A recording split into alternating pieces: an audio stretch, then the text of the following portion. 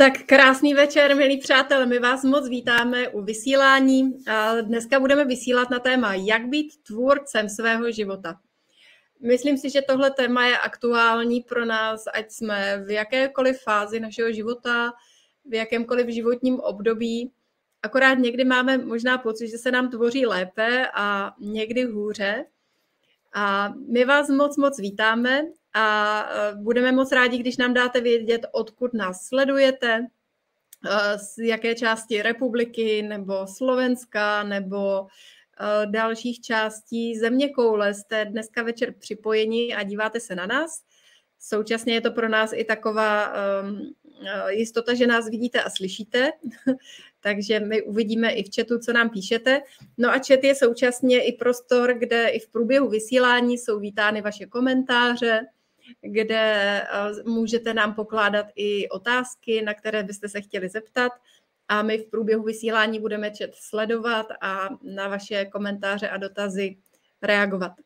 Čeká nás společný čas, eh, během kterého vám chceme vysvětlit několik principů, které se týkají té vědomé tvorby našeho života. A já říkám vědomé, protože eh, já věřím, že my svůj život do značné míry tvoříme. Tím nechci říct, že bychom měli v rukách 100% eh, toho, co se v našem životě děje. Pochopitelně jsou věci, které jsme si nenaplánovali, které ani nechceme. Nicméně ta obrovská část tvořivé síly je nepřehlednutelná. A já říkám, že my buď tvoříme vědomě, a nebo tvoříme nevědomě nevědomě tvoříme, když dovolíme našim eh, myšlenkám a našim emocím, aby nás vedli směrem, který se nepřejeme. Třeba právě vlivem toho, že myslíme na věci, kterých se obáváme, že věnujeme hodně pozornosti a hodně toho svého emočního prožívání něčemu, co ve svém životě nechceme, no a to potom tvoříme eh, z pravidla nevědomně. A tak vás budeme inspirovat, jak se co nejvíc posunout do role toho vědomého tvůrce a jak žít život, o kterým víte, že jste si ho alespoň do značné míry zvolili.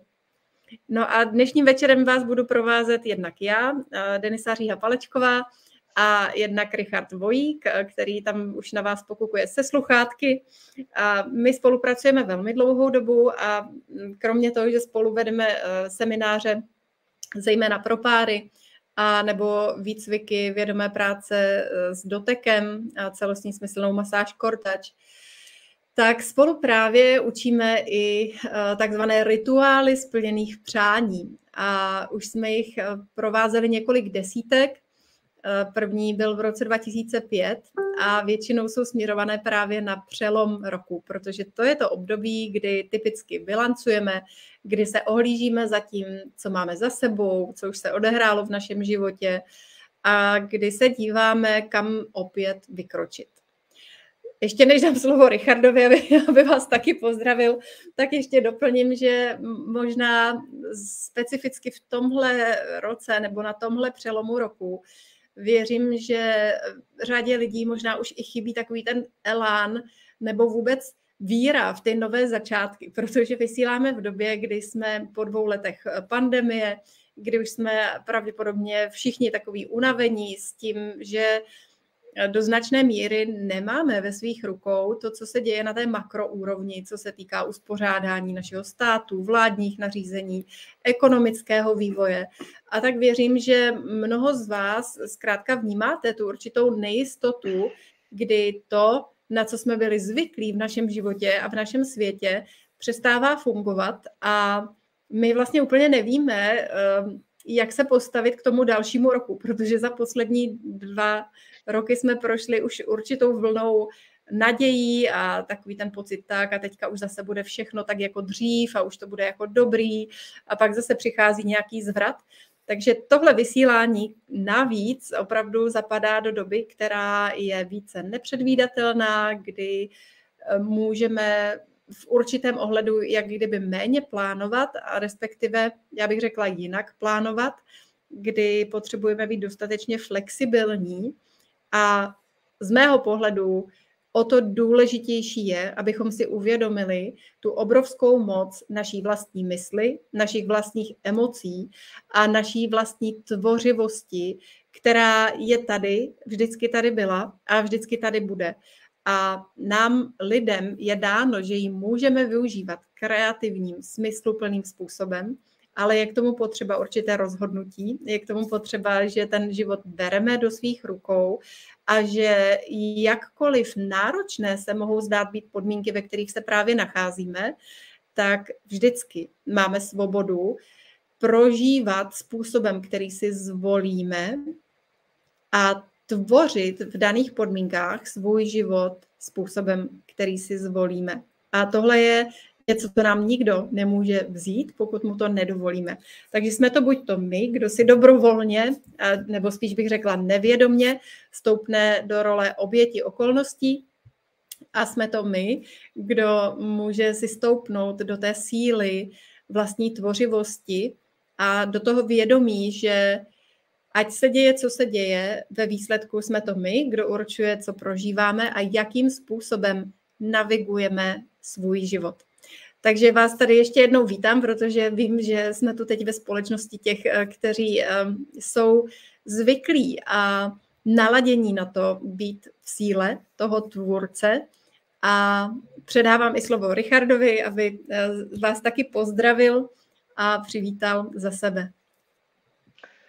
Já vás zdravím, já jsem Richard Vojík a Denisou vedeme ty věci, co jste říkali, já ještě k tomu vedu hlavně mužský semináře a snažím se těm mužům vyladěvat jejich vztahy se sebou, se životem a s tělem a prostě s dalšíma jako mm, věcma, s kterými se vůbec dá vztahovat. A hlavně taky jako jim pomáhám najít nějaký životní cíl, to jsou takové věci, s kterými pracuju, plus dělám párové konzultace, ale to není vůbec jako důležitý dneska. Já jsem chtěl vyjádřit obrovskou vděčnost, protože jak tady Denisa mluvila, tak já jsem šel zpátky prostě v těch letech a uvědomil jsem si, že nejdřív ty techniky, které budeme prostě předávat a předáváme je na tom rituálu splněných přání nebo na podobných seminářích, kde s tím jako pracujeme, což je i třeba na té Kortač dvojce, se tam s tím trochu jako pracuje, kdy člověk zaměřuje prostě ty věci v tom těle, takže to jsou takový dvě, dvě, dva, dva takový největší semináře, kde my pracujeme s nějakou transformací nebo změnou toho života, transformací. A my, když jsme ještě to jako vůbec neučili a vlastně jsme to začali zavádět do našeho života, to, co jsme se kdysi naučili na, na kvodušce a naučili jsme se to ještě pak eh, v Německu v takové tajemné škole eh, tantry, na takovým prostě strašně divným rituálu, ale ty věci, které jsme se tam jako naučili, tak oni prostě začali fungovat nám ve 27, 27 nám bylo, ne? Nějak takhle, Deniso. No. Tak to byl to asi rok 2004, takže um, no. 28, nám... nebylo 28. asi. No. no. Tak prostě nám se začaly jako dít věci. Jo? Začalo se dít to, že jako naprosto studenti nemajetní najednou, eh, najednou prostě začali pracovat s, eh, s tehdy ještě Tantraspa, dneska už s Arkajou, vlastně začali jsme pracovat s lidma, začali jsme jim pomáhat prostě skrze masáže, doteky a další věci. Skrze to přišlo spousta věcí do toho našeho života a my jsme jakoby skokově vždycky každý rok úplně jako poskočili přesně tam, kam jsme chtěli. Jo? Najednou se nám plnili ty semináře, který, který chceme se účastnit, pak jsme to najednou mohli začít předávat. Um, jako fakt, když jdu jako zpátky, tak na, jakože ten dopad, který díky těm přáním se nám jako povedl té České republice, ať už to, že se vydali ty knihy Davida Dady, ať už to, že se vydali knihy uh, Diany Richardson, prostě o vědový milování. Já si pamatuju, jak si vyprávěla, jak uh, Robert ze Synergie prostě stál u tebe uh, v knihovně a říká, Deniso, co ještě, co ještě bych měl jakoby vydat vlastně? A byly to vlastně knihy, které jsme nazbírali skrze naše cesty po Kalifornii společný, kdy jsme se účastnili těch různých pro nás tehdy obrovsky zajímavých seminářů s tím, že my jsme ještě jako úplně nepředpokládali, že to prostě budeme nějakým takovýmhle masovým způsobem předávat dál. A ten vesmír prostě nějak jako měl to přání, že skrze nás se to bude dít. A já musím říct, že právě ta technika toho zaměřování té životní síly, to asi, jak bych to řekl nejvíc, nebo té vášně, do toho záměru, který většinou, eh, když jako propady se srdcem, to znamená, že to je záměr, který je spojený s nějakým obohacením toho celku, nejenom jako sebe sama, tak on se okamžitě plní. To je tak, to je tak zvláštní, jaký cesty se vždycky jako propojí.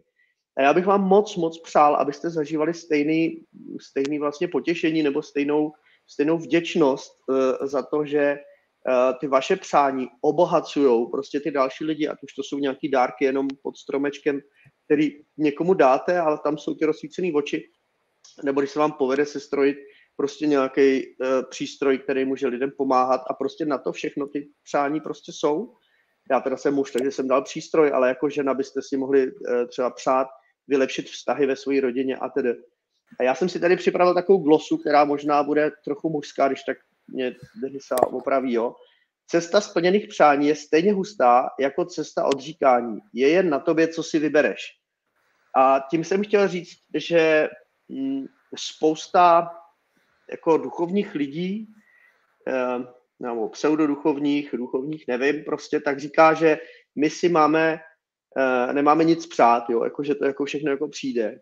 A že teda se máme jako otevírat tomu vesmíru, což je jako úžasný, ale já osobně si myslím, že tohle může říct pouze realizovaná osvícená osoba, kterých teda jako moc neznám a ne nějaká paní na Facebooku, protože prostě každý si furt něco přejeme. To je, já si přeju jít na záchod, pak si přeju tohle.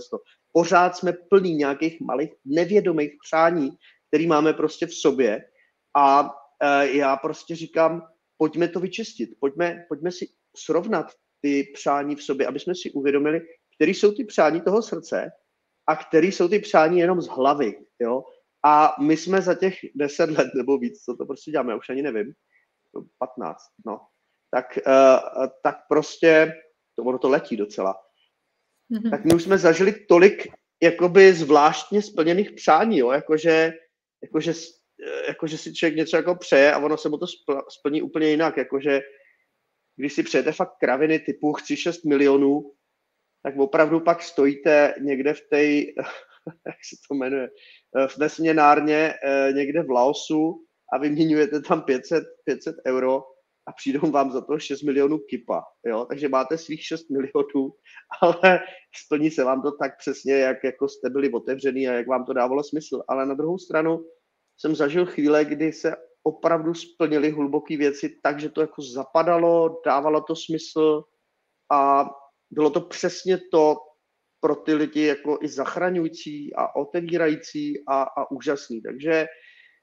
vím, mm, pár, pár lidí možná znáte, znáte Davida Kirše, možná znáte uh, podnikání z pláže Stáňu. To jsou všechno, všechno naši kamarádi, kteří prošli těma s těma našema výcvikama a můžete vidět, jak ty věci se jim plní. Já neříkám, že to je jenom kvůli nám, ale určitě jedna z těch věcí, která jako za tím jejich obrovským růstem a mimochodem můžete se dívat i jak Denisa prostě jako roste, když do něčeho jako zaměří tu pozornost, tak najednou ty věci se jako dějou. A to je speciálně pro vás, pro ženy, eh, který Denisa inspiruje, tak tohle to, co prostě my budeme teď vysílat na toho Silvestra, nebo s čím budeme jako pracovat, já jsem to ještě neprozradil moc dopředu, tak to je speciálně pro vás. A teďka, mm-hmm. teď ty.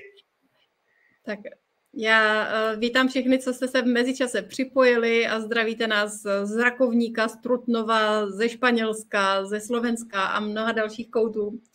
A e, ještě e, zopakuju, na co se dneska můžete těšit. Projdeme alespoň letem světem následující oblasti, jak vědomě tvořit své myšlenky a své emoce a jak tvořit svou životní vizi a dotkneme se taky tématu vize pro partnerství a rodinu.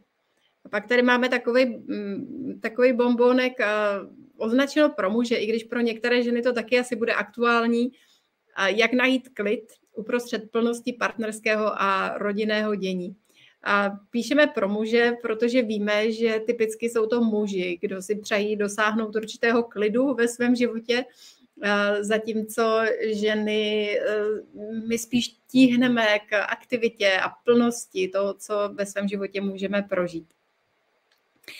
No a já už jsem na začátku říkala, že my navíc eh, žijeme v takové době, kdy můžeme mít pocit, že eh, ta naše eh, svoboda tvorby může být okleštěna, minimálně oproti tomu, co jsme zažívali dříve v našich životech, kdy jste za poslední měsíce a roky Pravděpodobně každý z vás prošli celou sérii situací, kdy jste si něco naplánovali a ono to bylo všechno jinak.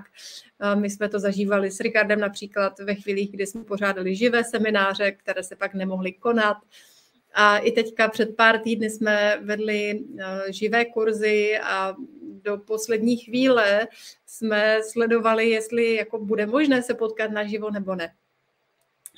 Nicméně, jak už jsem vám řekla, o to důležitější je, že my vstoupíme do takové svojí síly toho, kdo tvoří život, který žije.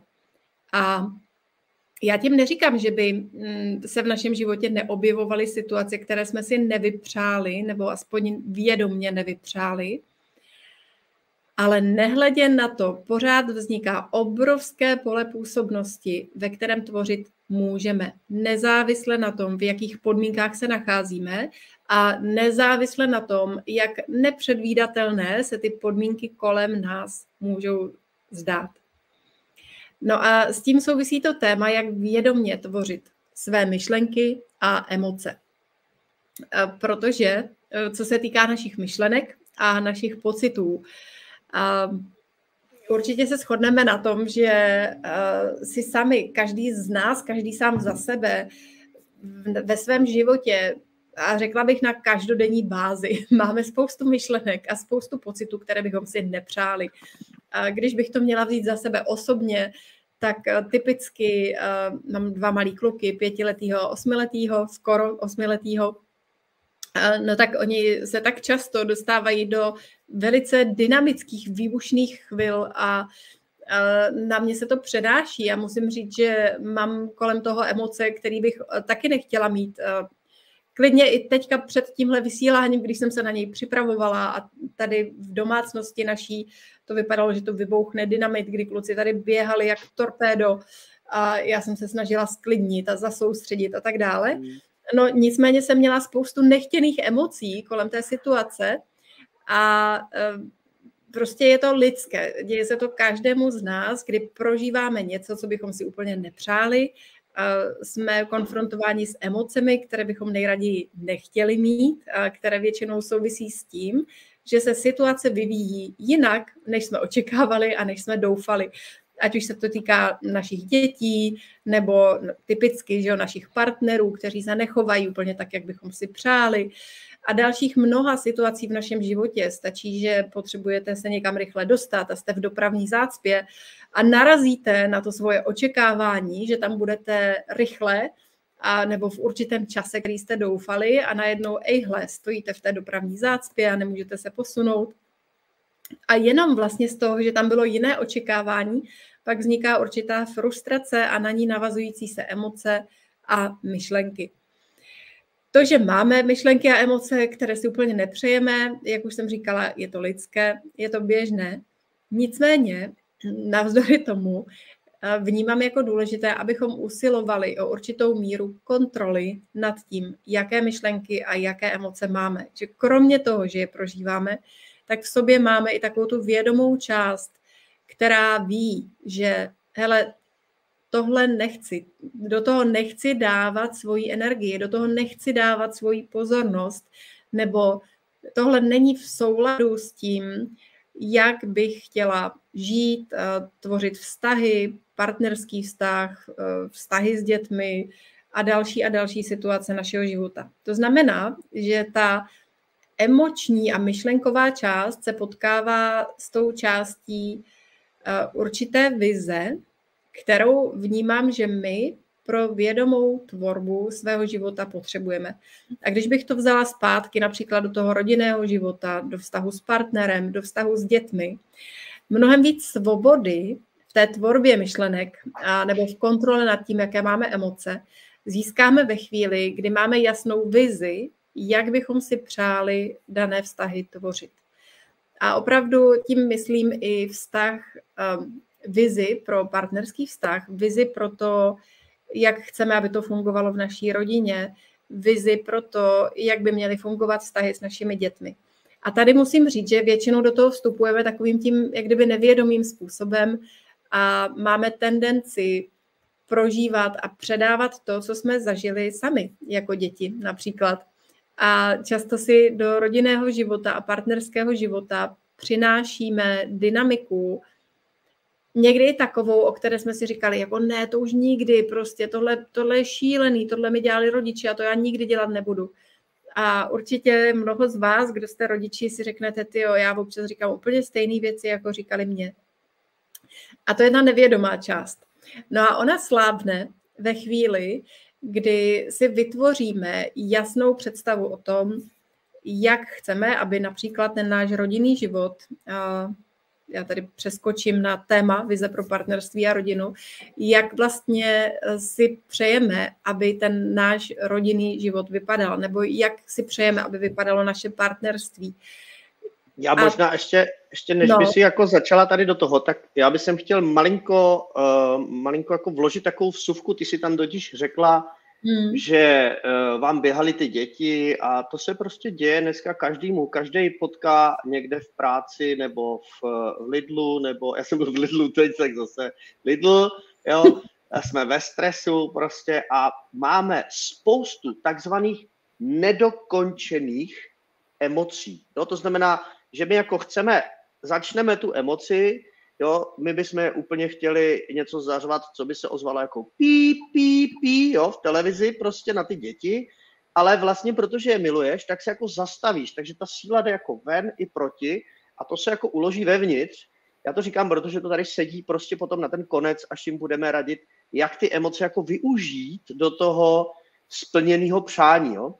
A tahle ta technika, já jsem ji dneska dostal od Richarda Gondora, hroz, Gonzora, a hroz, s kterým vedu uh, facilitátorský kurz, kurz a sraz hustých mužů. A to je takový super boxer. A on mi vlastně naučil, jak vyjadřovat tyhle ty zacpané emoce. Jo? A my to děláme na seminářích taky, na Kortač jedničce. Prostě pustíte si hudbu a ty lidi prostě tančí takový vnitřní tanec. Ty si začneš prostě tak jako kroutit, musíte se zavřít, aby vás nikdo neviděl, aby tam ty děti nemohly být. Prostě začnete dělat divný grimasy. Ty jeden, ale neříkáte ty slova, ale jenom vyjadřujete ty věci. Jo? Už vidíte i, jak se teď smějete, jo? že jsem tady dělal tyhle ty šaškárny. A ono to z vás jakoby se dostane ven, protože ta naše svalová paměť je propojená prostě s tím naším mozkem a mozek uvolňuje se skrze ty grimasy a grimasy uvolňují ten mozek. Takže to je taková rada pro maminky, že když už toho máte prostě jako dost, zavřete se, chvilku si udělejte takovýhle magorský, magorskou chvilku, 10 minut vám úplně stačí dělat cokoliv, co vám přijde zevnitř a fakt je to divný, jo, ty potlačené emoce jsou navenek divný a proto my je potlačujeme, protože my jsme jako správný. A díky tomu, že máme tuhle tu čistotu, že pak můžeme, jsme jako prosvícený, tak my najednou můžeme jít v klidu do těch psání a v klidu prostě můžeme se zase vrátit mezi ty děti. A to je fakt jako zajímavé, že tohle to potřebujeme. Zvířata to dělají automaticky, to nechci tady popisovat, to je nadlouho. A vracím to téma teď k té, tě přání v té rodině. To bylo, je to tak? Mm-hmm. Čteš nějaké otázky? Uh, otázky nemáme zatím, ale pokud by vás nějaké otázky napadaly nebo komentáře k tomu, co říkáme, tak pište do chatu. A já teda půjdu k tomu, uh, k tomu za druhé, jo, protože ono to je propojené samozřejmě s tím tématem vize pro partnerství a rodinu, ale jak tvořit, jak vůbec tvořit tu svoji životní vizi. A první krok je, že si zvědomujeme víc a víc, jakým způsobem utváříme to, co se v našem životě děje. A já bych řekla, že ten Fígl jako toho úspěšného tvůrce je, že dokážeme mít určitou míru disciplíny a vědomí nad tím, kam směřují naše myšlenky a kam směřují naše emoce. No a že je dokážeme podřizovat tomu, pro co jsme se rozhodli že chceme žít. Životní vize, to je veliký téma, většinou se dá rozkouskovat do různých podoblastí, jako je právě rodina, partnerství, práce, další aktivity v našem životě, prostředí, ve kterém žijeme a, a nebo i náš osobní rozvoj, duchovní rozvoj, různá další přání, která se v našem životě objevují a která bychom si chtěla naplnit. A my se vlastně díváme v kontextu životní vize na to, co nám osobně dává v našem životě smysl a do čeho chceme investovat svoji pozornost a energii a co bychom si přáli v našem životě prožívat. Tady je důležité vědět, že nezřídka součást naší životní vize tvoří něco, co jsme převzali nevědomým způsobem. A to jsou například uh, taková ta přání našich rodičů pro nás, jo? nebo jejich představy o tom, co my bychom v našem životě měli dělat a žít. Další rovinu pak tvoří ty společenské představy o tom, jak bychom měli žít. A tyto představy jsou nám před, předávány od toho nejranějšího věku, kdy my si vlastně zvykáme na určité normy a zvykáme si na to, co je normální.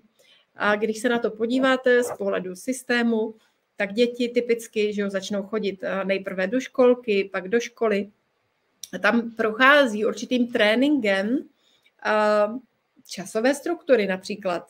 Přichází v určitý čas, odchází v určitý čas a oni se vlastně trénují eh, postupně na klasickou pracovní dobu zaměstnance a zvykají si od toho nejranějšího věku a zvykají si v podstatě na nějaký rámec, který potom považují za, za to, co, co se běžně dělá, za to, co je norma, za to, co je nutnou součástí života.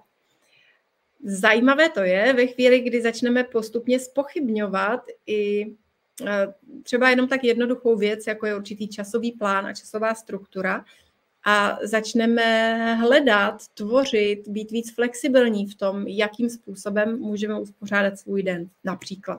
Jo? A ta tvorba životní vize je tím zajímavější, čím víc si dovolíme a dokážeme opustit to, co v našem životě jsme dříve považovali za jasné a neměné. A tam většinou přichází taková ta jiskřička nadšení a, a probuzení a přílivu energie. A to jsou taková dobrá znamení, kdy se dotýkáme něčeho, co je pro nás opravdu významné. Já bych skoro v tuhle chvíli udělala takovou malinkou pauzu v tom našem mluvení, aby vy jste měli příležitost si uh, buď to nám do chatu a nebo kdybyste nechtěli do chatu, tak někam k sobě na papír nebo do počítače, pokud se díváte z počítače, kamkoliv, si zapsat, co to je, co je pro vás důležité, co, cokoliv, co souvisí s vaší životní vizí, s životem, který vy si říkáte, že vás baví, že vám dává smysl, že vás naplňuje.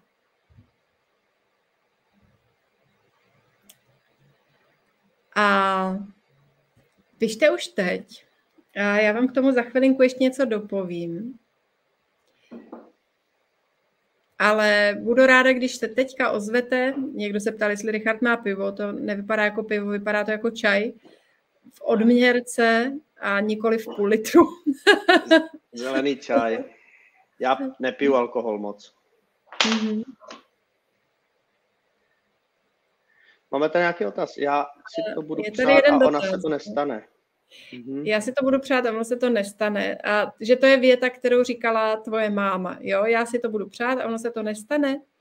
Ne moje Nebo... máma, je, jeho máma, tam to je napsané. No, no, no, no, no, ano, máma. A takhle to znělo, jo, že já si to budu přát, ono se to nestane. A ještě já tam mám upgrade, který mám od mojí mámy, jo když už žiju šťastný život, tak hned se to jako posere. To znamená, když si jako splním to přání, tak hned se mi to zase jako sebere. Mm-hmm. To je takový podobný.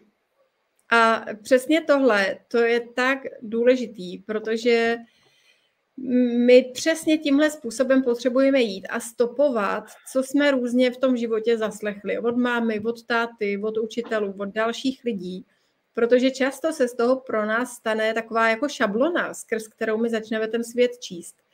A mně se líbí jedna věta, že uh, ať, uh, jak, jak ono to je, že ať tomu věříš nebo nevěříš, máš pravdu. No zkrátka jde o to, že čemu se rozhodneme věřit, tak ono to tak bude. Ono se nám to splní.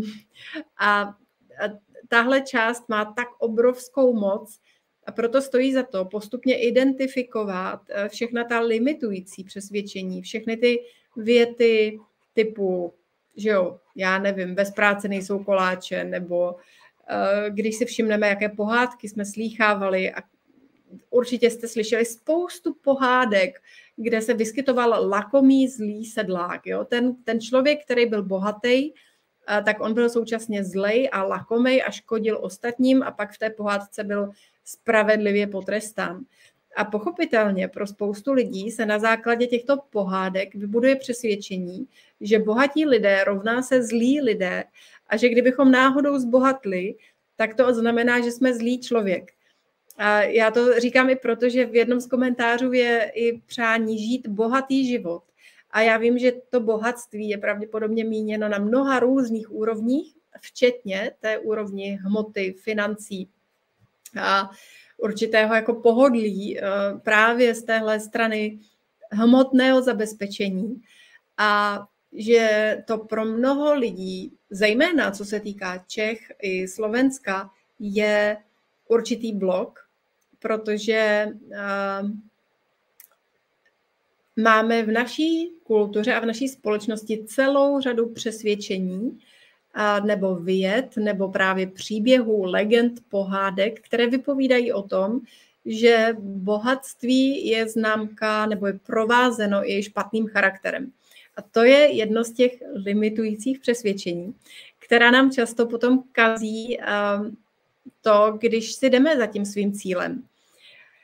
A my, my žijeme v době, kdy uh, je běžné v okruhu lidí, se kterými se setkávám, uh, které fungují v nějaké mé společenské bublině, tak řada z nich pracuje s nástěnkou vizí, s tím takzvaným vision boardem, nebo s jantrou, kdy si stanovujeme svoje cíle, díváme se na to, co bychom chtěli prožívat, zapisujeme si to, dáváme to do obrazové podoby a tak dále. Je to nádherná věc, je to velmi důležitá věc a je to velmi funkční věc, která ale nemusí fungovat vždy, pokud naše vnitřní nastavení není v souladu s tím, co si přejeme na tom obrázku.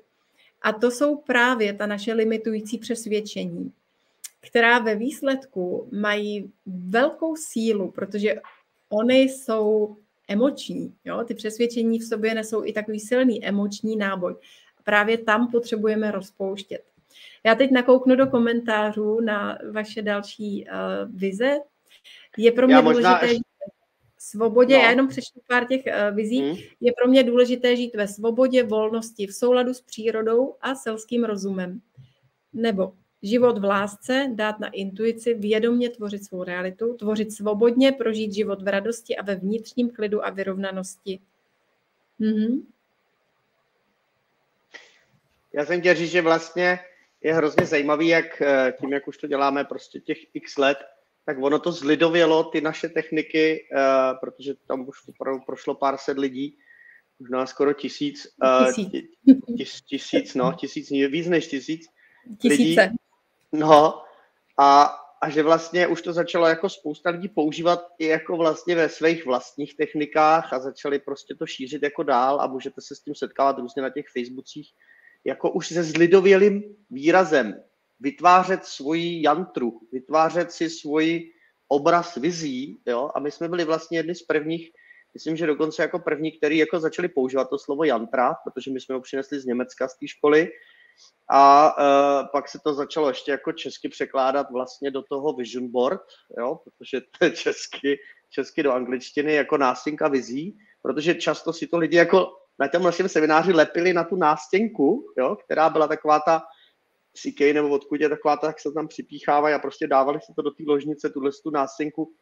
Takže já mám, to je zase jako další obrovská vděčnost, že nějaká jako věc, jako, jako člověk, který se tady narodí v Čechách, může jako změnit úplně obrovský povědomí o něčem, jo, a, a to bych prostě vůbec jako nečekal, když mě bylo nějakých 16, 17, že třeba tohle se jako díky mně stane, no, tak, nebo i tobě, so, samozřejmě. Takže to je, to je jako hrozně zajímavé, jak najednou sledujete, jak ten tok prostě těch různých jako věcí, které přinesete do Čech, se k vám vlastně jako vrací a, a nabíjí vás to, protože z toho člověk má prostě jako radost, že to jako zakořenilo a že to jako funguje, tak jenom to jsem chtěl říct, že to je taky jedno z těch přání, které se mě plnilo.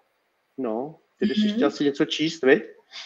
Eh, já právě se připravuju, že bych vás ráda provedla takovou krátkou meditací, ale přinesu si k tomu uh, hudbu, kterou mám opodál. Takže Denisa nám teď e, zmizela a já jsem teď nepřipraven a měl bych vám tady něco nebo, hezkého Nebo já jsem nezmizela na dlouho. Nezmizela jsem na dlouho, ale Já ti asi máte... budu říkat, jestli to hraje na hlas nebo ne, že jo? Přesně tak. Pokud máte podmínky, které vám dovolují se na chvíli zavřít oči, a, tak to udělejte. Můžeš a... mě klidně sundat na chvíli z toho dolů. Mm-hmm. No, já tě tam radši nechám, ať na to nemusím moc myslet, na to přesfakávání. A... Takže právě teď, pokud jste se teď přihlásili, tak sledujete rádio Richard Tvojík, Denisa Říha Palečková o jak tvořit svoji vlastní vizi a Denisa se teď právě připravuje, že vám udělá meditaci na splněná přání. Teď je to tak. dobrý docela. Tak, uh, tak jsme tady vyladili, doufám, že dobře vy, hudební podkres. Richard na mě možná ještě bude, bude dělat posunky, jestli je správná hlasitost uh, hudby. Je správná hlasitost hudby. Tak já vás pozvu, abyste si zavřeli oči a chvilku nechali svou pozornost u svého dechu. Představ si, jak se nadechuješ nejenom do plic, ale i do bránice a pak ještě dál do oblasti bříška.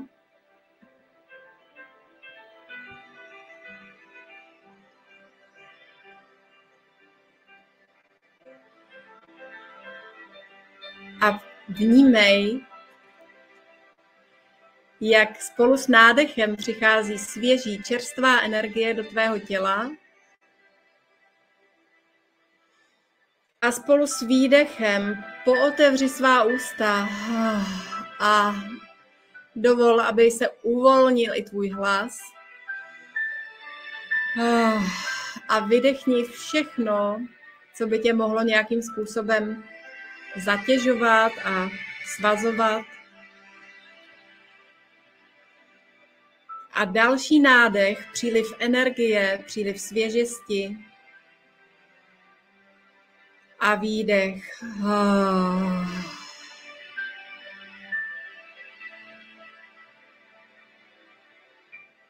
A vnímej, jak s každým dalším nádechem a výdechem eh, je tvůj dech ještě hlubší a stále ti dodává novou energii a umožňuje větší a větší uvolnění spolu s výdechem. Ah.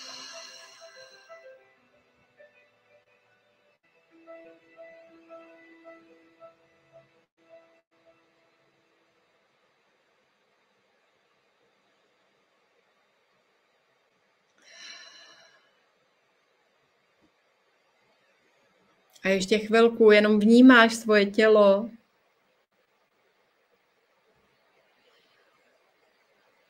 A podívej se teď na to,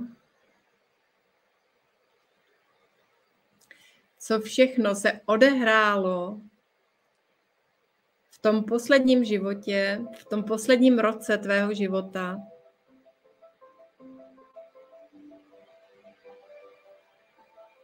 Jako kdyby někdo odvíjel v rychlosti film tvého života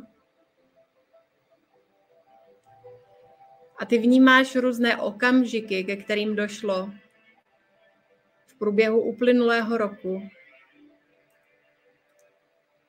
A byly zde chvíle plné radosti a byly zde i chvíle, které byly náročné.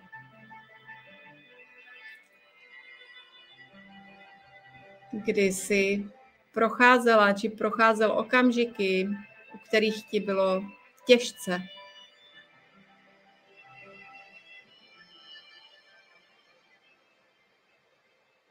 Ohledni se za tím uplynulým rokem.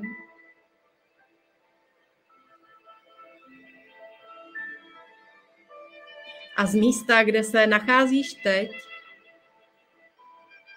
se podívej na to, za co jsi v tom uplynulém roce vděčný nebo vděčná. Každá ta zkušenost, která se odehrála, ti něco přinesla.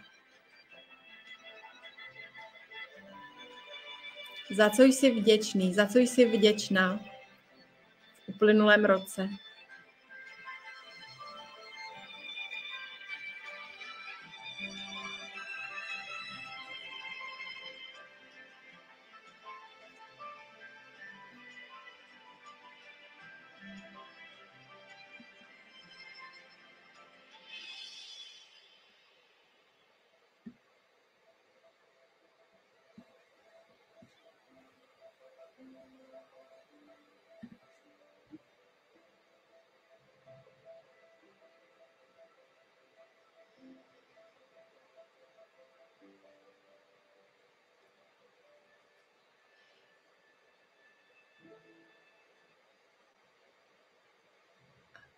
A pak se podívej ve svém vnitřním prožívání na ten čas, který máš před sebou.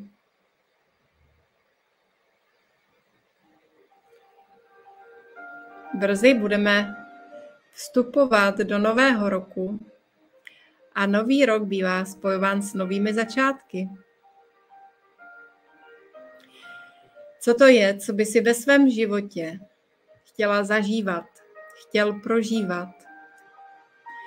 Čím bys chtěl či chtěla být? Co bys chtěl či chtěla mít? S kým a jak chceš žít? Co chceš tvořit? Kde se chceš nacházet? V jakém prostředí chceš žít. S jakými pocity se chceš probouzet. Představuj si vše do nejposlednějšího detailu. Nechávej k sobě přicházet obrazy a pocity. A vědomně pouštěj jakýkoliv limit, který by ti naskočil v hlavě. Nenech se omezit myšlenkami typu, ale to přece nejde. Právě teď sníš, právě teď popust úzdu své fantazii a dívej se na tu nejlepší možnou verzi svého života.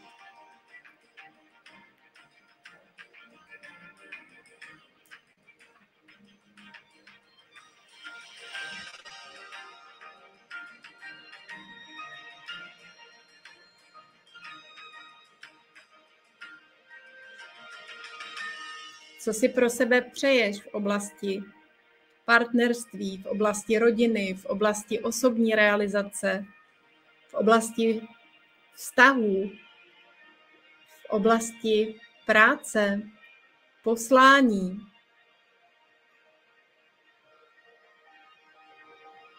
Jakým aktivitám patří tvůj čas a tvá pozornost?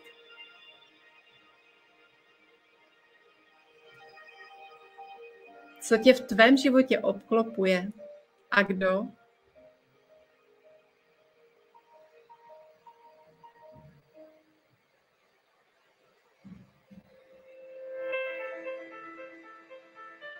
A znovu opakuju, rozpust jakýkoliv limit, který se ti v hlavě objeví. Vždycky, když ti přijde nějaká myšlenka typu, ale to nejde,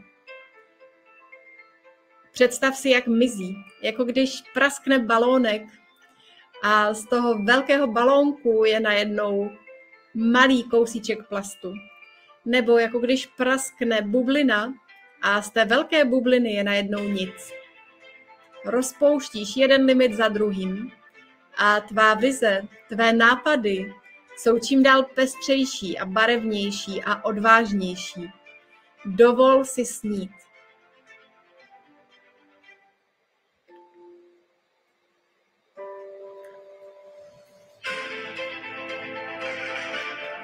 Až budeš chtít, tak se poděl do komentářů o to, co jsi právě teď prožil či prožila. Něco z tvých vizí, něco z tvých nápadů. Nebo můžeš napsat, co to je, za co jsi vděčná či vděčný v tom uplynulém roce. Napiš to do komentářů a pokud nebudeš chtít do komentářů, napiš to někam k sobě. Za co jsi vděčný či vděčná v tom uplynulém roce a jaká přání, jaké vize máš pro ten další rok. Jakkoliv odvážné obrazy a myšlenky ti naskočily, zapiš si je.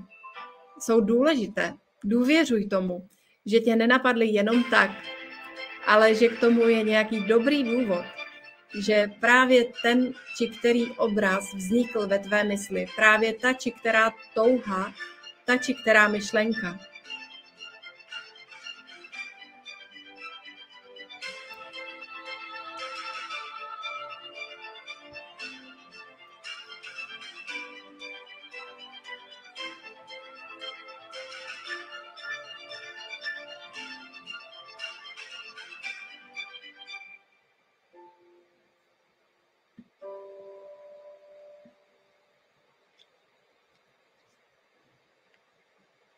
A až si otevřeš oči, tak zapisuješ k sobě a také do chatu, kdo budete chtít, za co jsi vděčný či vděčná v tom roce, který se nachyluje ke konci a jaká přání, jaké vize máš pro svůj další život.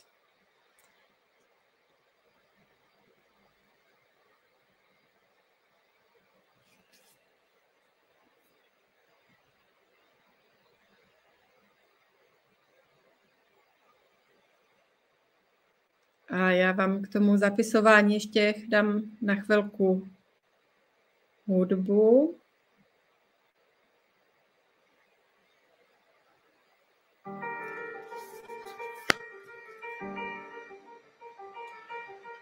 Takže ještě je čas na zápis toho, za co jsi vděčný, za co jsi vděčná a jaká přání, jaké vize ti teď přišly pro tvůj následující život.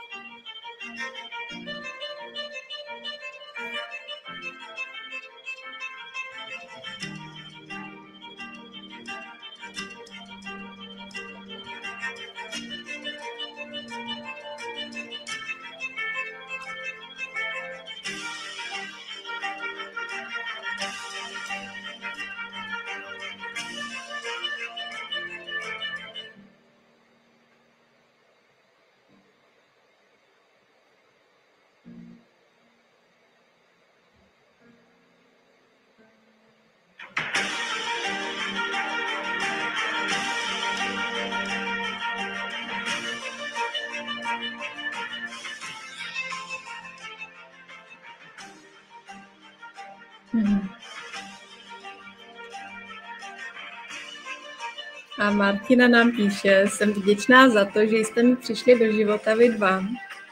Moc děkujeme a moc, moc, moc tě pozdravuju.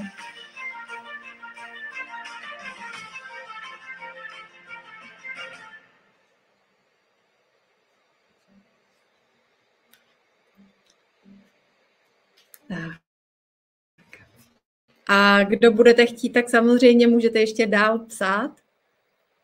A já tady mezi nás vrátím na obrazovku i Richarda. Postupně budu nakukovat do chatu na vaše komentáře a pište sem nebo pište k sobě, pokud nebudete chtít veřejně sdílet. A my se vrátíme k tématu té tvorby vize. A já bych chtěla říct eh, pár slov eh, k tvoření vize pro partnerství a rodinu. Protože eh, věřím, že řada z vás, nebo jako společnost, už jsme si možná zvykli na to, že si tvoříme různá přání a cíle, co se týká třeba našich pracovních úspěchů nebo dovedností, které si osvojíme, nebo někdo má cestovatelská přání a vize, kam na světě by se ještě kdo chtěl podívat, jaká místa objevit a jaká zažít. A oblast, která často bývá zanedbávaná, je oblast partnerství a rodiny.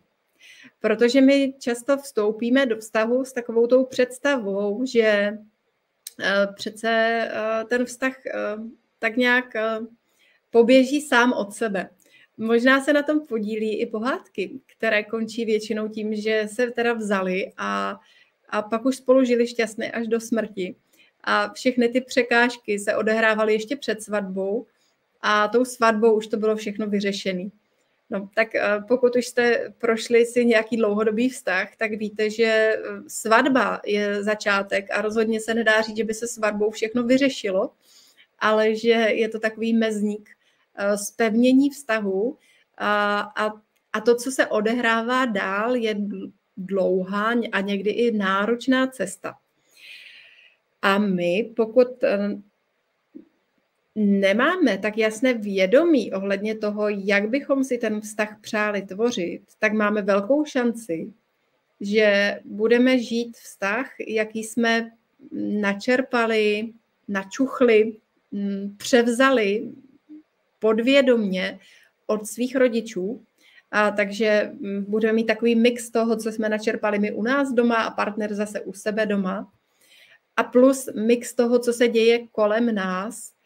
A z mého pohledu je velmi náročné, aby takový vztah dlouhodobě prospíval. To, co vytváří určitou sílu ve vztahu, je Kromě toho, že eh, se naučíme určité věci o tom, jak fungujeme jako muži a ženy, jakým způsobem pečovat o svoji intimitu, jak pečovat o komunikaci ve vztahu, jak zacházet s emocemi, eh, frustrace, smutku a podobně, tak abychom je v sobě nemuseli polikat, ale na druhou stranu, aby nebyly destruktivní pro ten vztah, Kromě toho, že se zkrátka tak jako dovzděláme o vztahu, což eh, tenhle typ vzdělání s Richardem poskytujeme už asi 15 let na retreatech pro páry a ze srdce vřele eh, vy, kdo jste ve vztahu, vám doporučujeme, abyste tím retreatem pro páry prošli a v brzké době budeme mít eh, jak online verzi retreatu pro páry někdy ke konci ledna, tak i na začátku února potom živý seminář Eh, se setkáním v hotelu. A tak to jsou určitý věci, které stojí za to si osvojit, dovzdělat se, eh, poučit se o tom, jak se ten vztah opečovává, jak se kultivuje. No ale kromě těchto z mého pohledu velmi praktických a zásadních dovedností a poznání do vztahu, je důležité i to, že se čas od času na ten vztah znovu a znovu díváme z určité z určitého nadhledu, jak kdyby z té ptačí perspektivy. A říkáme si, aha, tak kam, kam jako vlastně jdeme. A jak bychom si přáli žít a cítit se za pět let, za deset let. A ono by se to dalo rozdělit do dvou oblastí, já to tady v té otázce mám jako jednu, ale jakým způsobem si přeju kultivovat a vytvářet ten náš partnerský vztah. Kde spolu chceme být jako partneři za 10 let, za 20 let, jak bude vypadat náš život, jak, co spolu budeme dělat, jak se k sobě budeme chovat. A opravdu je důležité vytvořit si tu nejlepší možnou variantu a tam bych se dívala fakt na dlouhodobou vizi, nejenom na vizi na následující rok, ale opravdu se podívat, až budete o těch 10, 20, 30 let starší, kde byste si přáli být s tím partnerem, jak byste si přáli, aby vypadal ten váš partnerský život. A zrovna tak, co se týká rodiny, tak se díváme na to, jakou mm, kulturu v té rodině chceme vytvářet, jaké hodnoty chceme předávat, jaké zkušenosti a hodnoty chceme předávat našim dětem, jak spolu chceme mluvit, jak spolu chceme řešit konflikty, eh, jak spolu chceme řešit různé další následuj, náročné situace a současně jakým způsobem do toho našeho života zakomponujeme situace, které nás sytí, které nás baví, které nám dávají smysl, které nám přinášejí radost. Protože oni se často nedějí sami od sebe. My je opravdu potřebujeme vytvořit ty okamžiky, kdy spolu sdílíme, kdy odpočíváme, kdy se spolu radujeme, kdy si něco vyprávíme, kdy spolu prožíváme něco nového, něco neobvyklého. A každý vztah, i každá rodina potřebuje jednak bezpečí, což je jako základ, ve kterém my můžeme potom prospívat a kvést. Potřebujeme tu pevnou půdu pod nohama a o bezpečí se stará třeba i určitá struktura, forma, různé menší i větší rituály, vztahové, rodinné. A tím nemyslím, že byste museli dělat něco magického. To jsou takové momenty, jako jak se vítáme, když se od někud vracíme, jak se loučíme, jestli se přivítáme polipkem, obětím, nebo jak utváříme naše společná rána, jak utváříme naše společné večery a podobně, tak to myslím těmi třeba každodenními rituály, které se starají o to, že náš život má určitou strukturu, řád a to je to, co vytváří pocit bezpečí. No a současně ale potřebujeme jako lidé i, um, neřekla bych vyloženě nebezpečí, ale i ten element variability, element toho, že je v našem životě něco nepředvídatelného, nějaké, něco nečekaného a nějaký typ dobrodružství nebo objevování něčeho nového, to může zahrnovat, že spolu chodíme na nová místa, že děláme něco, co jsme ještě nikdy nedělali, že se učíme věci, které jsme se nikdy dřív neučili. A to všechno podporuje naší potřebu růstu. Protože my se chceme nejenom cítit bezpečně, my potřebujeme prožívat i to, že, že se nějakým způsobem rozvíjíme. To bezpečí samo o sobě vytváří situaci, kdy stojíme na místě, ale my potřebujeme současně i překračovat naše hranice způsobem, který nás stimuluje a obohacuje. No a stojí za to dívat se na tyhle aspekty i v rámci svého partnerského vztahu a rodiny a dívat se úplně konkrétně na to, jak ty elementy, po kterých jako lidi, jako každý z vás toužíte a potom jako ten pár anebo jako ta rodina toužíte, jakým způsobem je zakotvit v tom každodenním běhu vaší reality. S tím, že na začátku je ta vize, jak byste se spolu chtěli cítit, jak byste se chtěli mít, co byste chtěli dělat. A pak to vnášíte na tu mikroúroveň toho, co se děje den za dnem. Já tady vidím otázku takovou, možná bych na ní mohl trošičku odpovědět a vytáhnout něco z té kuchařky, co děláme. Tady Marek Dětko se ptá, jak to vlastně udělat, aby mu nebránilo jakoby to okolí v těch věcech. Tak jako První věc je, když si něco přejeme, tak si to musíme nejdřív sami se sebou vlastně dát jako nějakým způsobem dohromady. Ten velmi poměrně složitý způsob, jak to jako dát dohromady, učíme na tom tom, to tady nebudu teď, eh, to tady nebudu teď říkat, ale když už máš tu vizi, tak já vždycky říkám, že by si člověk měl trochu jako schovat pro sebe, protože ty věci, které jsou jako dobrý, tak eh, netroubím prostě všude kolem, já si přeju tohle, já si přeju tamhle to, já to chci takhle, takhle to aspoň já, že ona se jakoby vybije ta energie tady toho a ono se mi to pak nesplní. Takže nejvíc se mi jako plní věci, které si tak jako vytvořím, tam to probírám, tam to dělám všechno tak, jak to má být, ale už to pak jako nemelu všude kolem každému prostě, že jsem jako plný nějakých přání, protože to mi přijde tak jako nevědomý způsob. A samozřejmě musíš trošku svý přání sdílet se svými blízkýma, a k tomu chci říct jednu věc, když žena nesouhlasí tvoje s nějakýma tvýma přáníma, tak bych se jako velmi zamyslel nad tím, proč bytost, která mě miluje, s něčím jako nesouhlasí. Vždycky se mi to projevilo uh, takže jsem to měl prověřit, nějakým způsobem vyladit nebo to úplně zahodit, protože ty ženy jakoby úplně pocitově někde vevnitř jako ví, jestli si zase přeješ kravinu nebo ne, jo.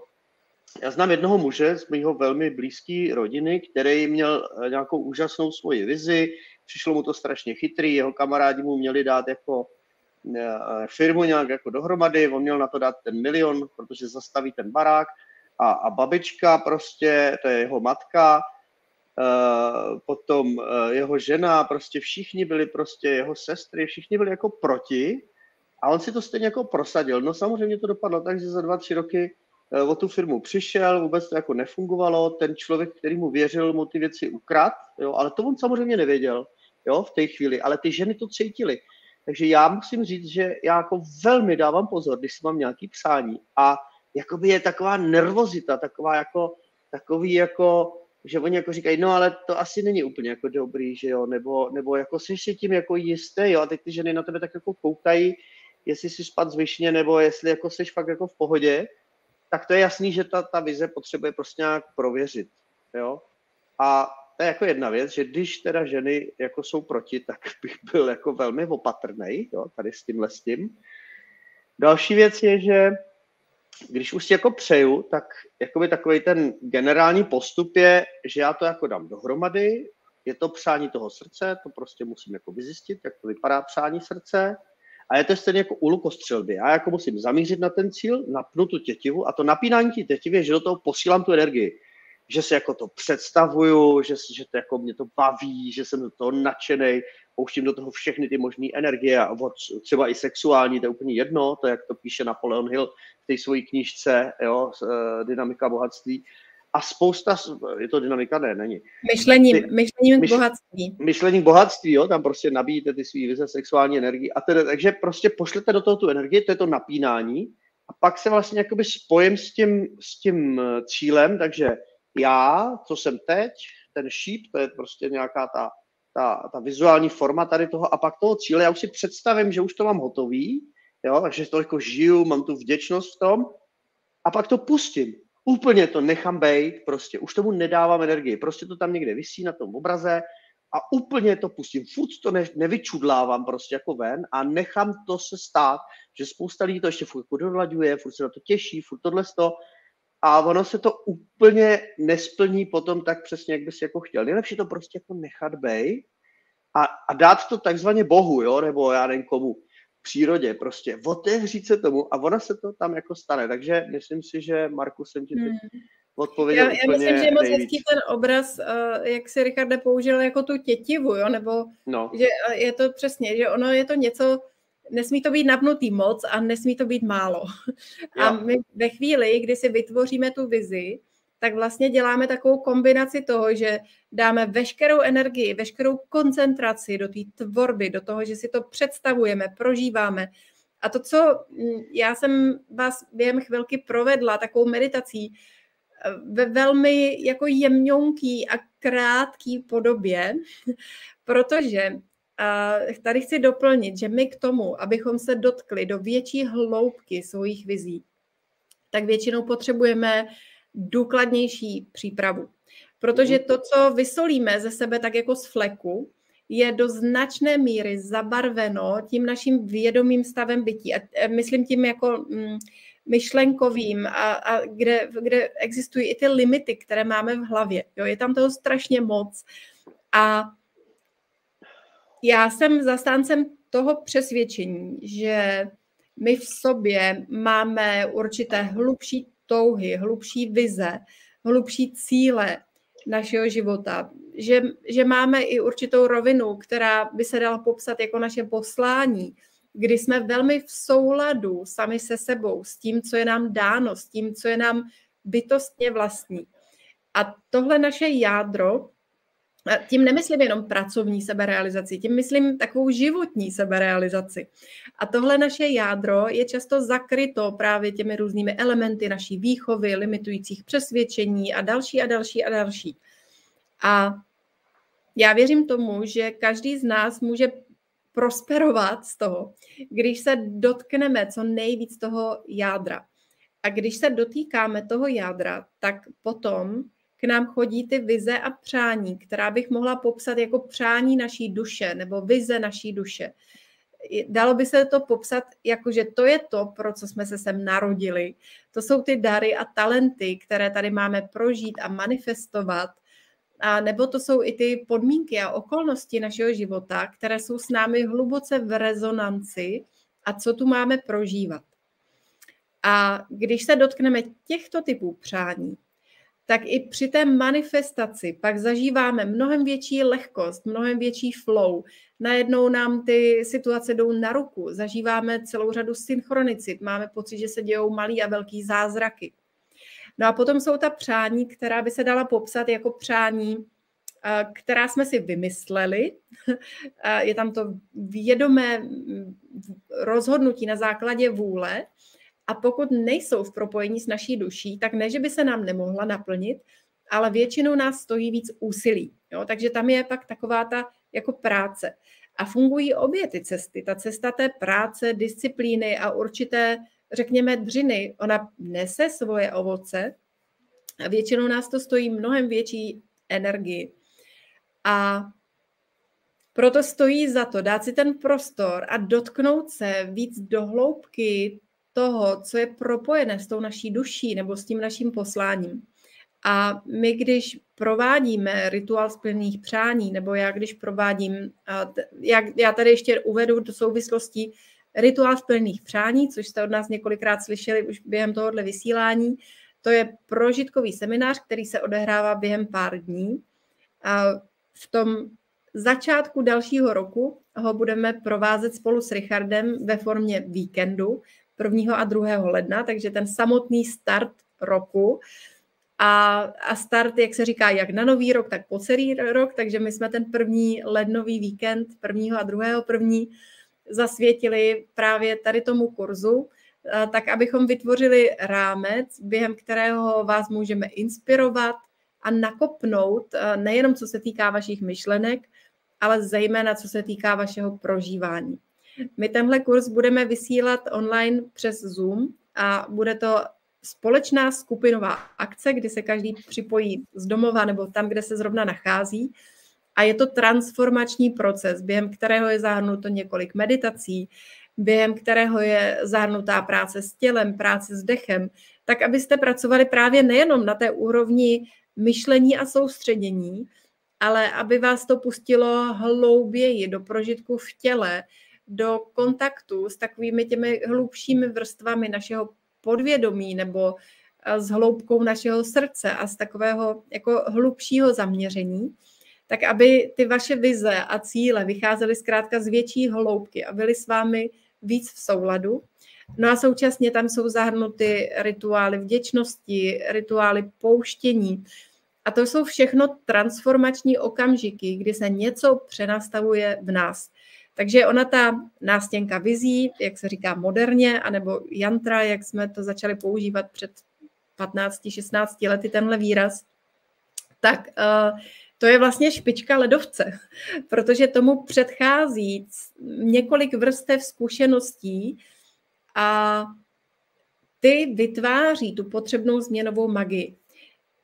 Pokud to, co tady od nás slyšíte, vám dává smysl, tak určitě doporučuji, abyste se nechali uh, inspirovat právě tím procesem, který vás může zavést ještě násobně hlouběji, než je uh, ta hodinka a kousek, uh, kterou spáme spolu tady teď. A můžete to udělat buď to v té formě toho víkendu rituál splných přání, což je živé vysílání, ke kterému bude záznam pouze po dobu jednoho týdne v uzavřené facebookové skupině. Ten záměr je opravdu, abyste byli připojení během toho víkendu a ten záznam je tam jenom proto, aby když vám nějaká část někde unikne, abyste si ji mohli doplnit nebo zopakovat, ale je, je to, to opravdu nastavené na to, abyste byli hmm. s námi a společně, protože je to taková kolektivní jo. tvorba a my víme, že když se sejdeme společně, tak i když nejsme v tom fyzickém prostoru společně, tak to má zkrátka velkou sílu, protože my to tam, prožíváme ve stejném čase.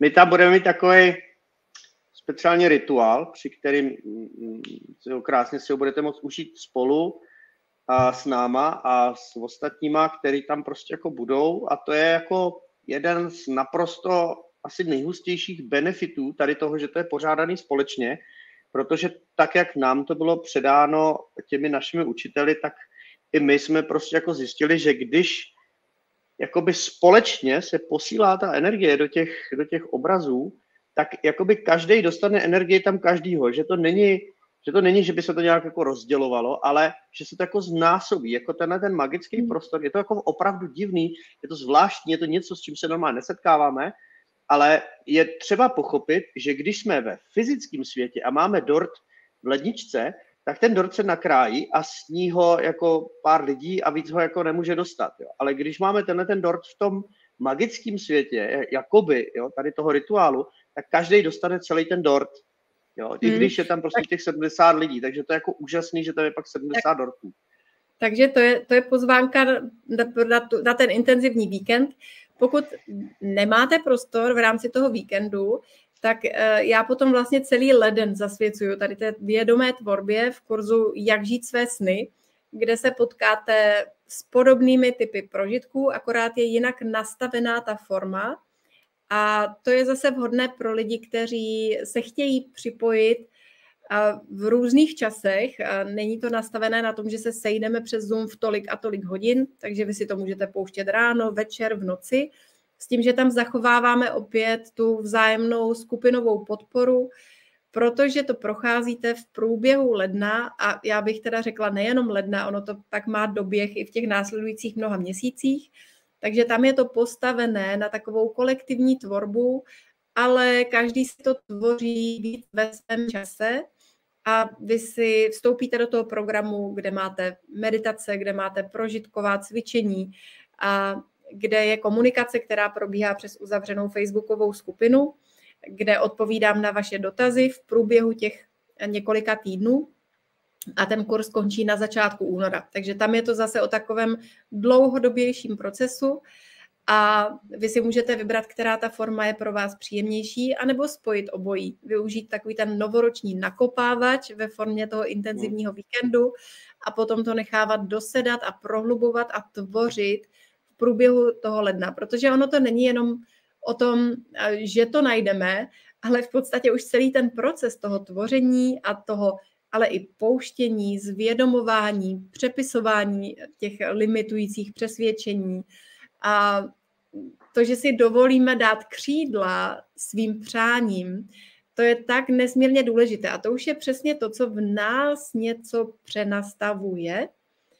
No a pak je to o tom, jak to zaměřit, jak, jak, eh, jak, jak napnout ten luk a vypustit ten šíp a mm, dotknout se těch našich přání takovým tím živějším způsobem. Takže to jsou pak pozvánky pro ty z vás... Ještě možná okomentoval trošku, no.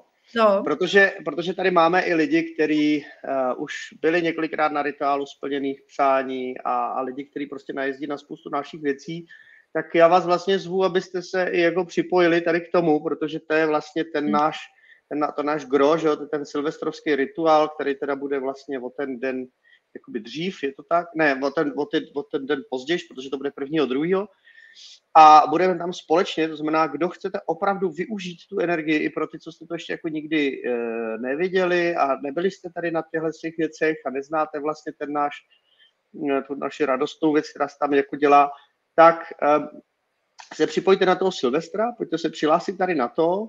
Vy, co jste takový línější a tak jako úplně nevíte, kudy do toho, ale chtěli byste si tak jako něco splnit a tak si jako něco udělat, ale tak, jak má to taky svoji velkou hodnotu, tak si to dáte potom.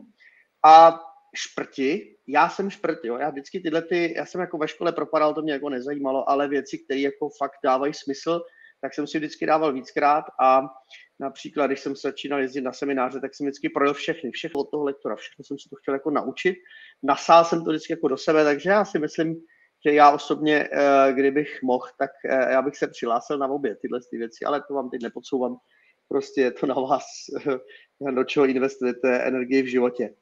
Zrovna dneska jsem přemýšlel, že eh, buď můžu ty věci jako investovat, já jsme se bavili o nějakých jako takových investičních věcech, jako stříbro a, a nebo prostě do něčeho úplně jiného, a nebo prostě to najednou utratíš v Lidlu do sejrů, utratíš to do různých jako věcí a, a ono to jako se vyfoukne jako v tom životě. Jo? To znamená, jako možná je i ta otázka příští rok, protože jak je ta korona, všechny tyhle věci, tak to jako míchá těma s tím. Finance jdou pryč, klesají inflace a tedy všechno tohle, do čeho jakoby vlastně investovat.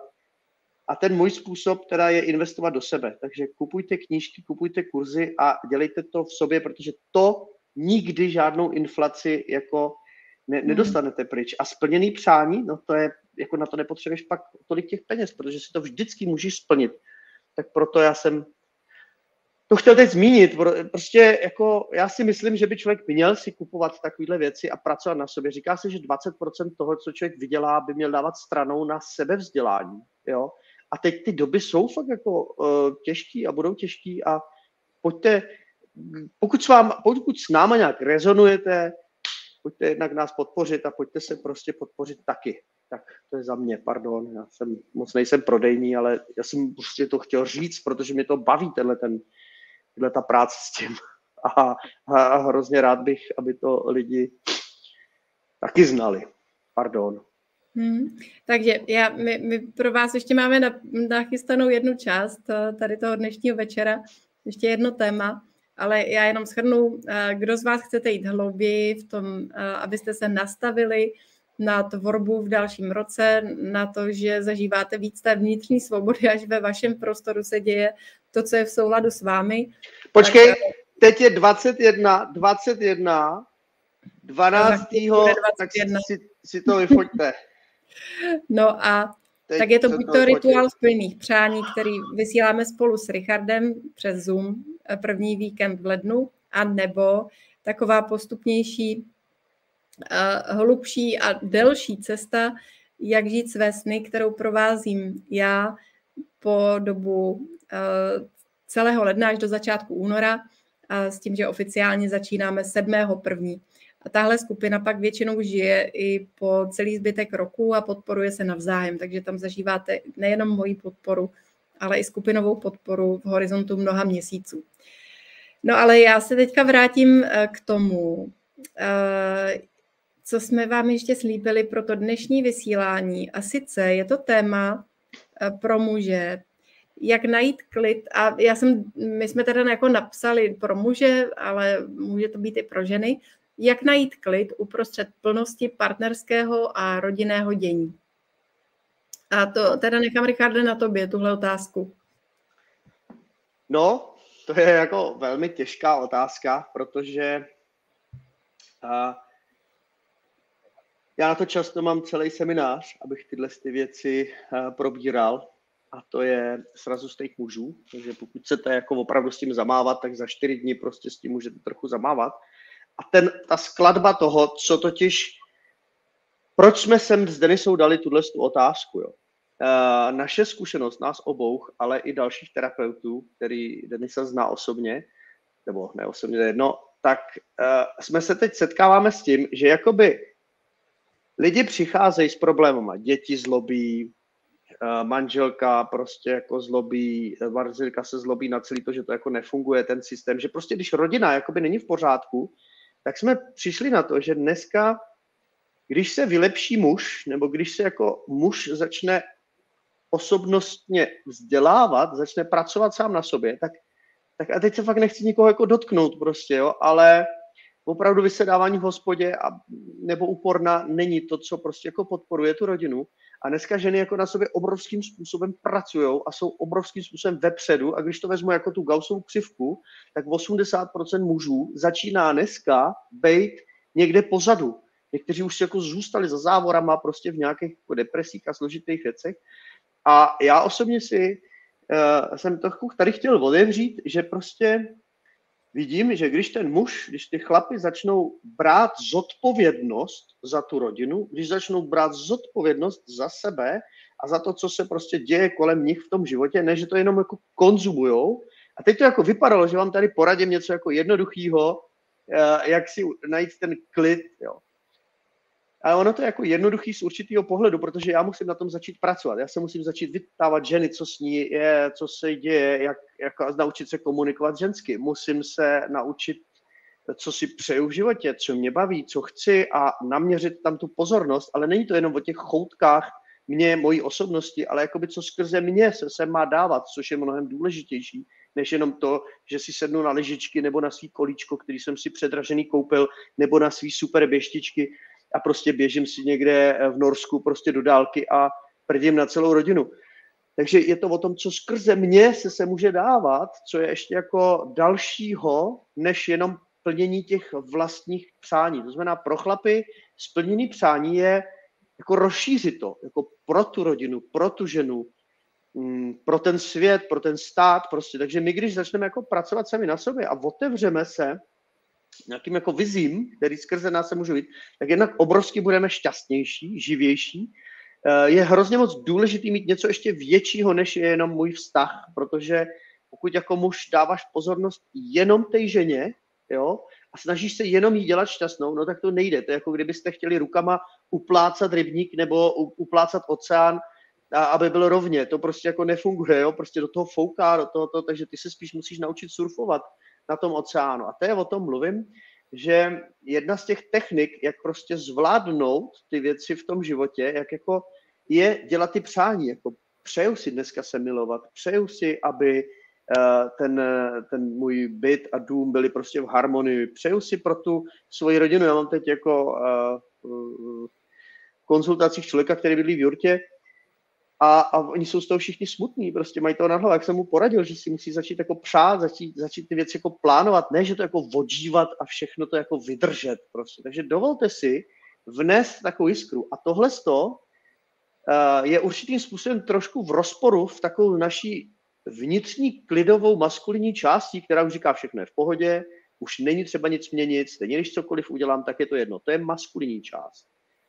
Ale my máme pak v sobě i femininní část, tu ženskou část jako muži a ta má přání, chutě, ta chce mít ty orgazmy, ta chce být jako šťastná, ta potřebuje uh, o to tělo se starat.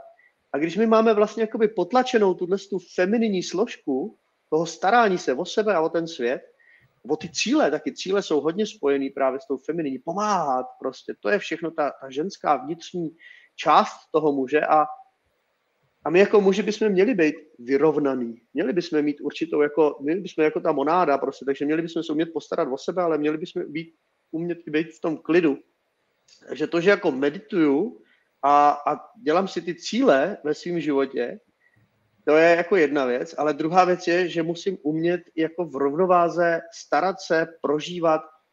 A jak se říká, jak říká David Dejda, ta maskulinní složka, to prázdno, to nic, to, ten klid, tam už není co měnit. To už je všechno perfektní. Tam už, tam už nemá kdo tady koho učit. To už je hotový. To vám říkám chlapi, tam už jsme hotoví, proto se vám nic dělat nechce. Protože když jste v tomhle aspektu, nemáte co tvořit.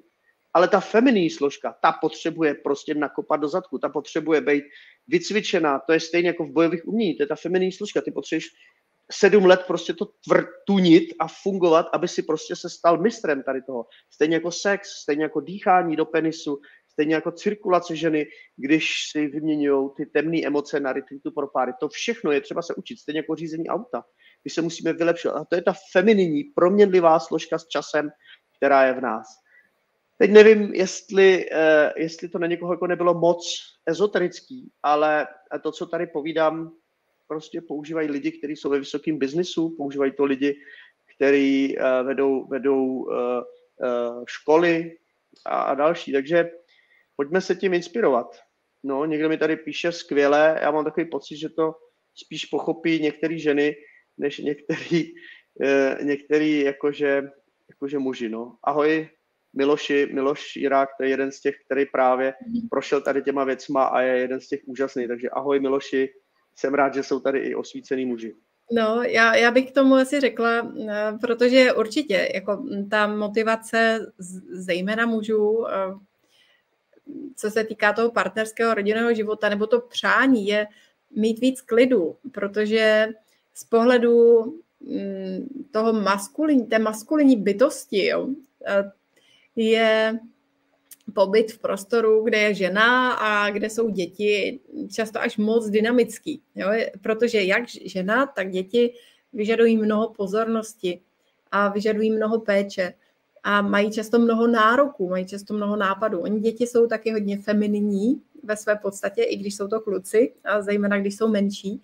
Takže eh, ten muž v rodině často zažívá takový náraz jako vlastně toho dění a požadavků a emocí, jo, kolik emocí je v té rodině a ve vztahu.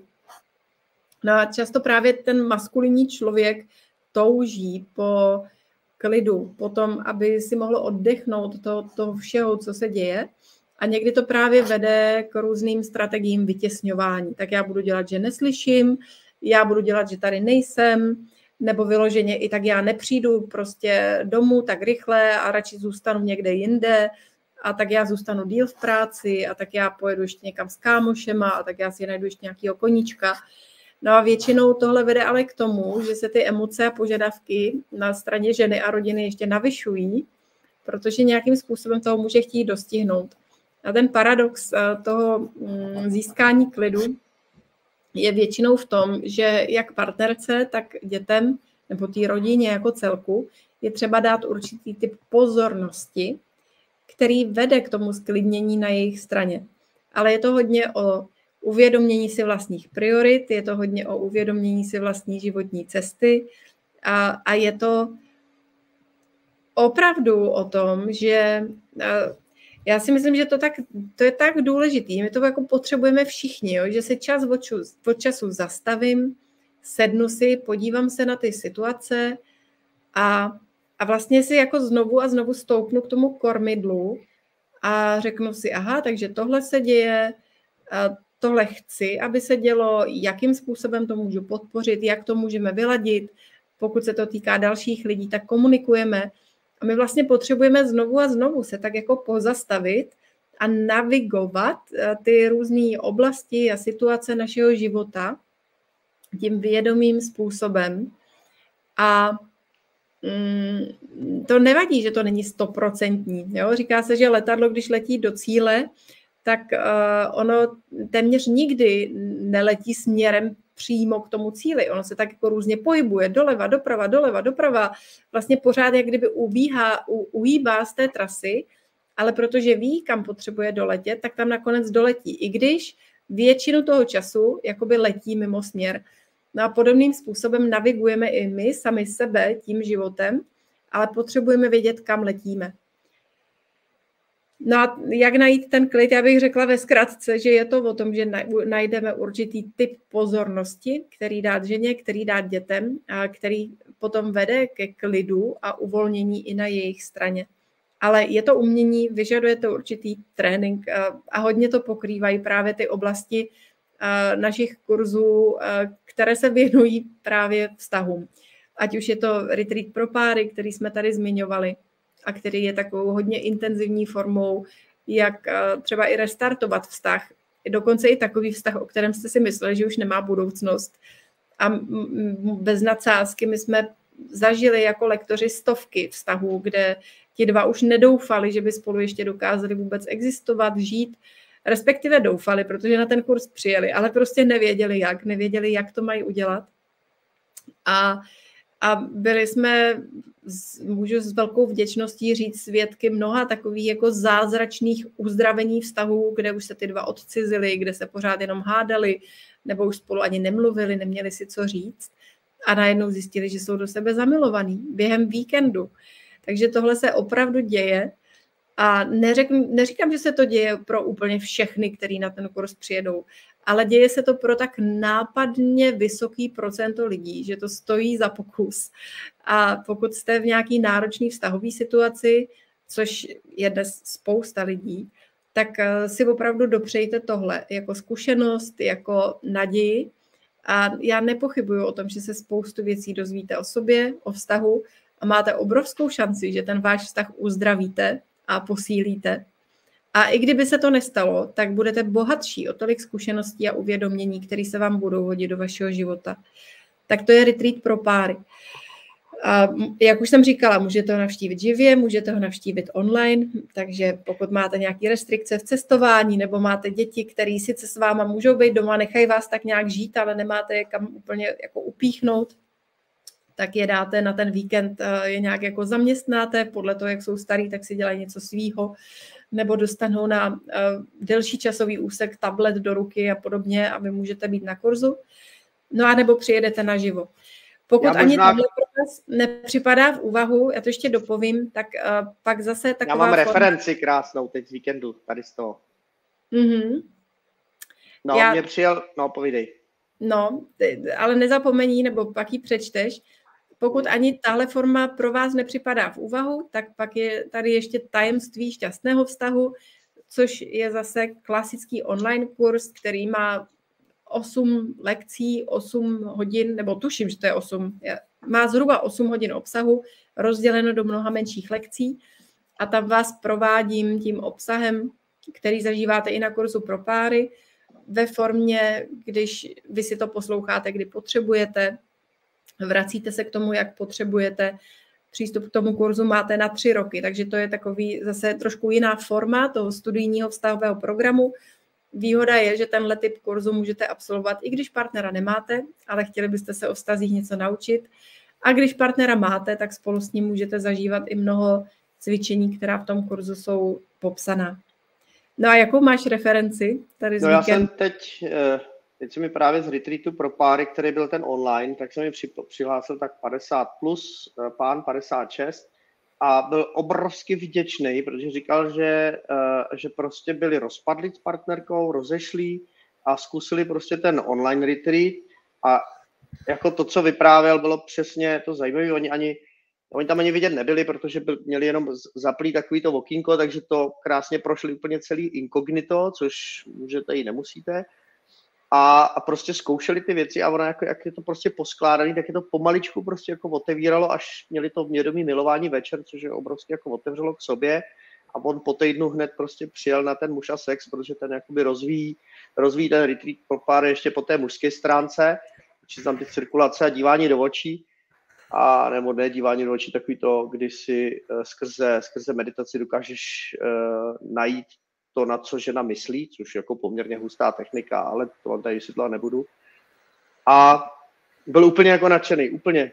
Takže jsem si říkal, wow, tak e, taky potřebuju někdy jako slyšet, že těm lidem to jako opravdu funguje ten, ten online, že jenom když to člověk čte, tak, tak je to to, ale když pak se přímo s tím člověkem setkáte a on nám to přesně jako řekne, tak to bylo jako skvělý.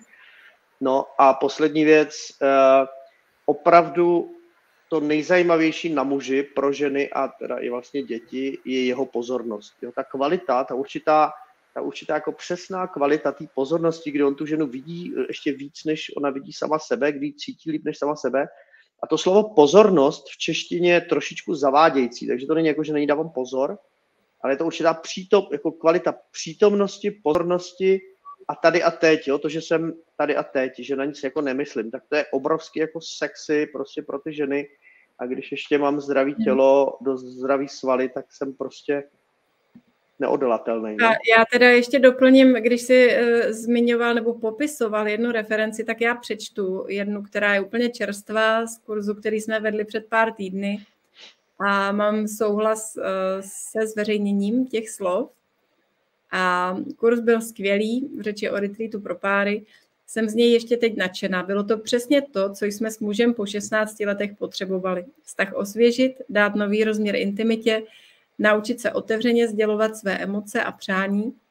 A dovoluji si tvrdit, že opravdu cítím, jako bychom se do sebe znovu zamilovali. Těšíme se na sebe, manžel chodí i dřív z práce, abychom měli na sebe čas a mohli plnit eh, domácí úkoly s pomalým milováním.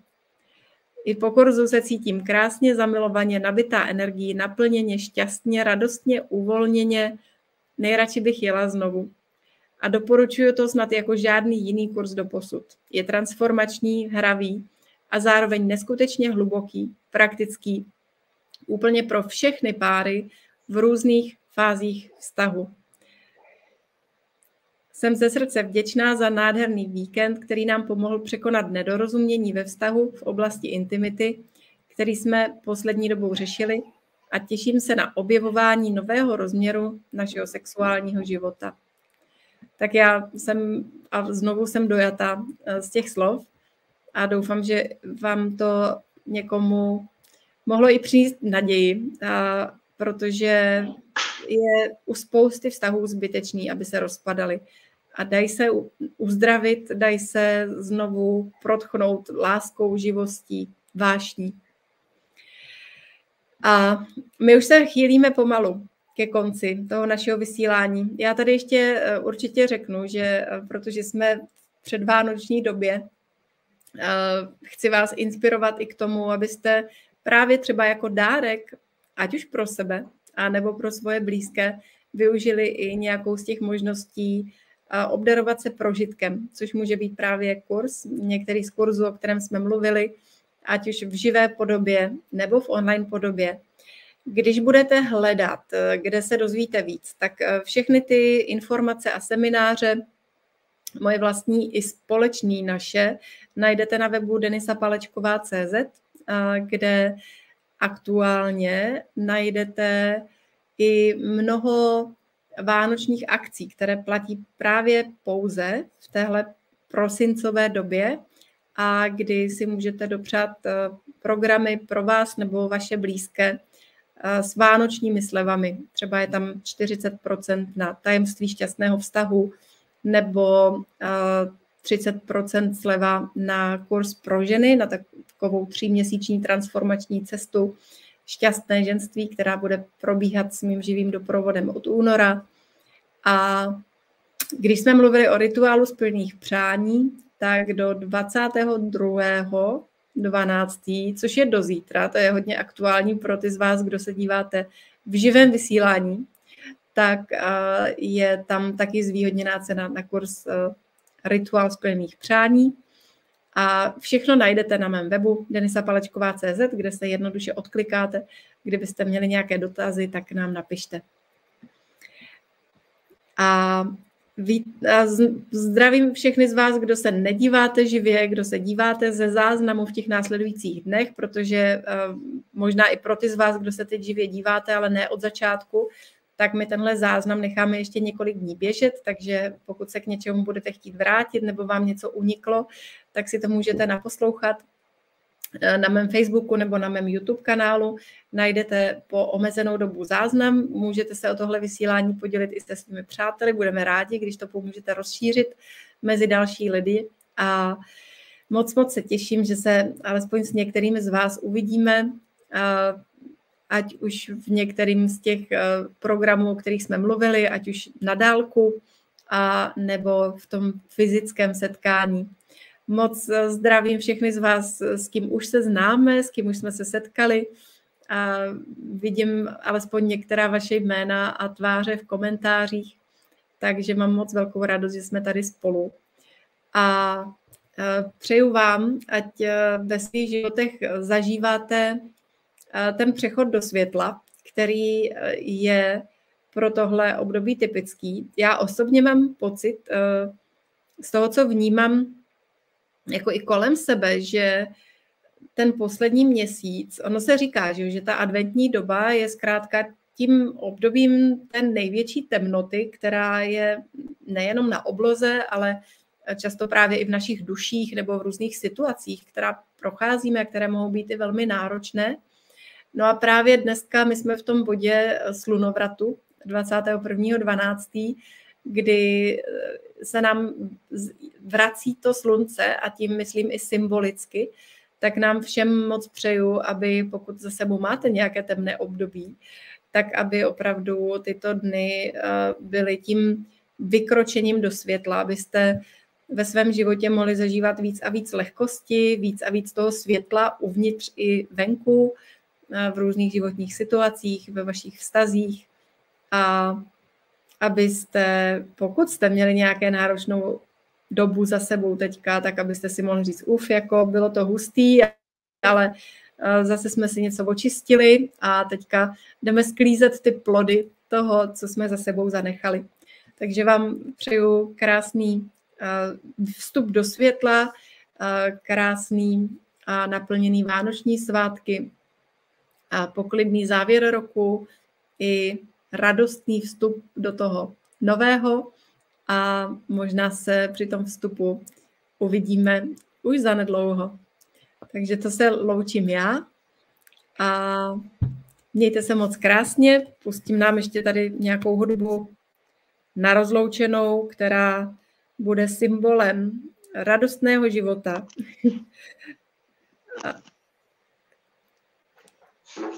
Taky mějte se moc krásně ať vykročíte pravou nohou do toho nového roku, ať eh, všechny ty těžkosti, které tam jsou, jsou poučením a vlastně jsou pro vás takovou eh, posilující věcí a jak se říká, úžasní muži vznikají pod silným tlakem, stejně jako diamanty, takže a když tím projdou s hezkým štítem a jsou pak oporou pro ten zbytek. Takže mějte se hezky a ať ať nám ty chlapy tady kvetou v té republice a díky tomu pokvetou i ty ženy. Mějte se hezky, ahoj. Mějte se krásně a přeju vám, ať jste spojení se svojí duší, se svým srdcem a ať žijete život, který vás baví a který vám dává smysl.